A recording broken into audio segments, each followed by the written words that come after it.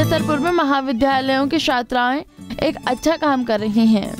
साथ में NCC cadets एक काम में हाथ बटा रहे हैं। शहर में महापुरुषों के स्मारक की सफ़ाई भी की जा रही है।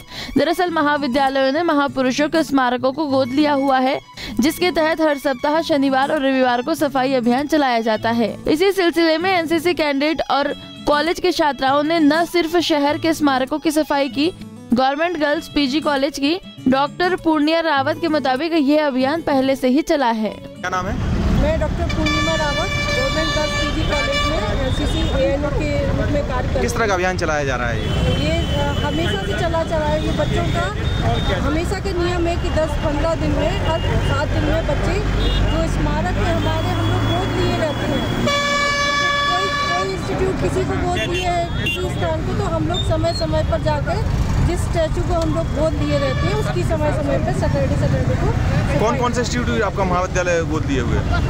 हमारा वो मैथिली शरण गुप्त जी का जो चौराहा है पुलिस लाइन का वहाँ का गवर्नमेंट गर्ल्स कॉलेज का ये दो तीन स्टैचू हम लोगों ने ये नियम बना के रखा है कि सैटरडे को सब बच्चों को लेके जाके उसकी साफ़ सफ़ाई आज कहाँ पर किया है? आज हम लोगों ने ये छत्साल चौराहा ये घोड़ा चौक पे और ये महाराजा कॉलेज के पहले जो नंबर वन के पहले जो सैनिकों स्टैचू है वहाँ पर सफ़ाई की हुई है कितने छात्र छात्राएँ कितनी छात्राएँ हैं हमारे पास मिनिमम पचास बच्चे थे गर्ल्स कैडेट और महाराजा कॉलेज से भी पचास बच्चे आए।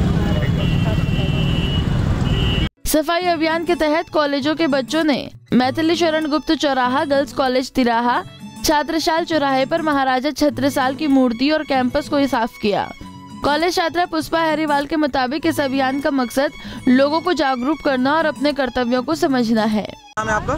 मैं कैडेट पुष्पा अहरवाल। पुष्पा जी बताएँ किस तरह का कार्यक्रम चल रहा है यहाँ पे? यहाँ पे ये महाराजा छत्रसाल सोलह तारीख को हमारे मतलब एम के गवर्नर आ रहे हैं राज्यपाल अ, मंगू भाई छगन छगन भाई उनके अवसर पे ये वो वहाँ आ रहे हैं इसलिए सफ़ाई अभियान चल रहा है और खाली आने पे नहीं और हमें अपने अपने मतलब भारत है अपने एम को स्वच्छ बनाने के लिए ये सफ़ाई अभियान सबका कर्तव्य ये है कि सबको सफ़ाई अपने आसपास सफ़ाई रखनी है हर जगह सफ़ाई रखनी है अपने भारत बनाना है। एमपी को स्वच्छ बनाना है हमारा सबका कर्तव्य बनता है कि स्वच्छ रखें सब हर जगह और अपने आप। कौन से कॉलेज से हैं आप? आ, मैं महाराजा कॉलेज कितने लोग आए हैं आपके छात्र है गर्ल्स और बॉयज़ कहाँ कहाँ की आपने साफ़ सफ़ाई अभी? वो महाराजा छत्रसाल और सैनिक चौक सैनिक चौक कॉलेज छात्राओं और एनसीसी कैडेट्स का ये अभियान सराहनीय है। यहाँ ऐतिहासिक स्मारकों और मूर्तियों की सफ़ाई की जा रही है। तो वहीं अपने कर्तव्य का भी सही से निर्वहन किया जा रहा है। पंजाब केसरी टीवी के लिए छतरपुर से राजेश चौरसिया।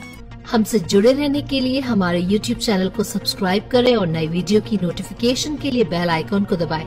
अगर आप ये वीडियो Facebook पर देख रहे हैं तो लाइक ज़रूर करें और ज़्यादा से ज़्यादा शेयर करें। धन्यवाद।